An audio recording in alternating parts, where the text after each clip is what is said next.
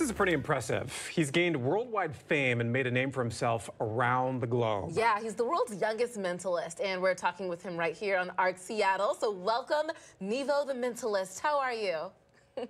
I'm great. How are you? Good morning. We're good. Good morning to you. So, Nevo, talk with us about your backstory. What inspired this journey for you? So I'm 19 now. I started by the age of nine, and I was always kind of a weird kid. Always, uh, I was very good at mathematics, very good memory. I started like being very curious about how people think and the human brain. So I was always trying to be one step ahead of everyone and start learning about all those psychological techniques such as body language, suggestion, hypnosis, and, and really and understand how the human brain works. And now I'm a mind reader. Just amazing. And we know that you were just in, in Israel where you performed for families of the Israel Defense Forces. Um, I'm wondering if you can talk with us about that experience and what it means to perform there given what's, what's going on in that part of the world right now. So I'm not really allowed to talk about this kind of stuff, but I'm really trying to keep the morale up, trying to entertain uh, the soldiers and make people feel better. Good. Let's talk more about that, making people feel better. What do you hope people learn from your story and performances? And maybe you can give us some examples of, of maybe what a mentalist does. Good. So, as I told you, I started by the age of nine. I was a kid with a dream when I was uh, 12, I've been the finalist of Israel's Got Talent. I managed to tour around the world, three months tour in Dubai, five times the United States. Now I'm here touring in New York, doing performances. Uh, I'm next week flying to Miami, and I just got back from Indianapolis. So it's really all around the world, um, traveling the globe, performing. And I would love to give inspiration for teenagers and just people all around the world if they have a dream and they want to succeed and they want to do something really if you're passionate about it continue and you will fulfill your dream. So yeah, that's what I'm doing. And I would love to show you something. Um, so as I told you, I'm very good with numbers. I'm very passionate about it. I would like to do something with both of you. So Steve and Tyrah, I'll like each one of you to think of a three-digit number. Okay. Okay, done. Done it? You, you have something in your mind? Yes. Yes. Great. Don't say anything out loud. Maybe I'll try to create a connection between you two. So I'm going to write something on that post-it note. Okay, so I wrote something and I'm going to put it here in my jacket pocket. I want you, for the first time, out loud, say both of your numbers. 619. 173.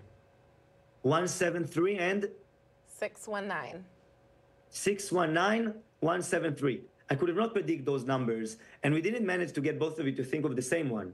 But as I told you, I am always one step ahead of everyone. That's what I'm trying to do. So I have a question. Do you have your cell phone with you? Yes. yes both of us do. Yes. Just open up a calculator. All right, calculators open. Okay. And I would like you to add these two numbers. 619 and, or the numbers we chose? Yes, the numbers you chose. What was yours? 173. Yeah, okay. I don't want to, I don't want to, just tell me the score. 792. 792? Yeah. Uh, I want to show you. Stop. Kidding me. Stop. Stop! How did you do that? What is your secret? if I'll tell you, I'll have to kill you, and I don't want.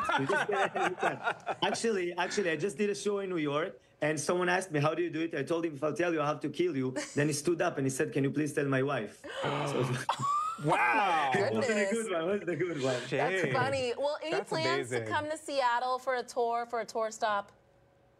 I would love it. I would love it actually. So basically, most of my performances are corporate events and private events. I, am also doing big venues and performances for bigger crowds, uh, such as I did in Dubai and here in New York. Um, but it's really about entertaining people, make people feel good, feel better, being blown away. And if by doing that, I can convey the message of really fighting for your dream, trying to fulfill dreams. It doesn't matter where you're from, what's your age, and make people feel good.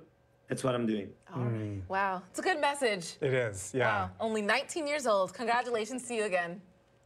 Thank you. Have a good one. Thanks, Thank Nevo. You. Oh my gosh. that was weird. I know. Okay, but what is yours was 713 or 173? 71 yours was what? 619. well, where'd you get your numbers from? 743. I don't know. You just it just popped in my head. Yeah.